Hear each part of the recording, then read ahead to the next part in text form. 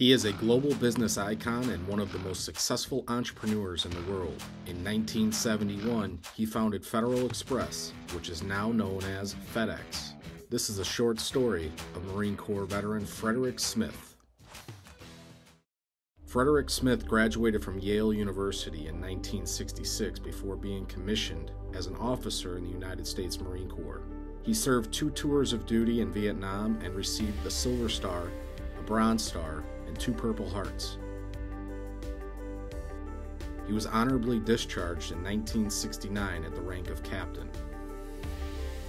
Fred Smith credits a lot of his success to his experience and lessons he learned from his time in the Marine Corps, which FedEx still applies today.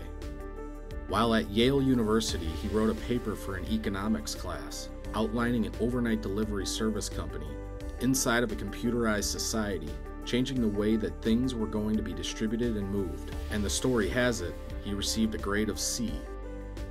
Shortly after his completion of military service, he founded Federal Express in 1971, with operations beginning on April 17, 1973, in Memphis, Tennessee. 14 planes departed and delivered 186 packages to 25 cities across the U.S. Federal Express was not an overnight success as they encountered many challenges along the way. In its first two years, FedEx lost $29 million. At one point, Fred Smith was hired to fly into Las Vegas and received a line of credit for $5,000. He took the money to the blackjack table, where he learned to play while in Vietnam and won $27,000, which helped keep the lights on and cover fuel bills. In 1984, FedEx went international and now operates in 220 plus countries and territories across the globe and employs more than 700,000 employees with an estimated 16 million packages shipped daily.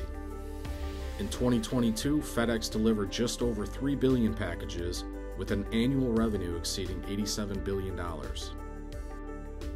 After 51 years, on June 1, 2022, Fred Smith stepped down as CEO to become the executive chairman. His net worth is estimated at $4.2 billion. He's always been a great supporter of the military community. He was a big supporter of the National World War II Museum in New Orleans, Louisiana. Frederick Smith, founder and CEO of Federal Express, a military veteran, business icon.